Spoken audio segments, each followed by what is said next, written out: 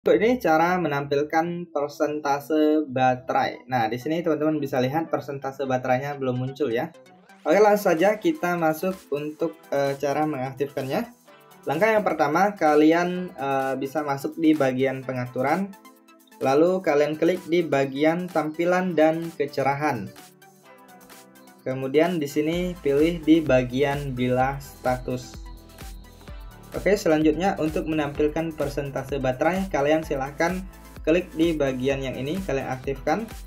Nah, maka persentase baterainya sudah muncul ya. Di sini persentase baterai di HP saya ada 30%.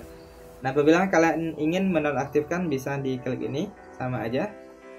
Nah, kalau warnanya terang itu artinya aktif, kalau warnanya buram itu artinya tidak aktif.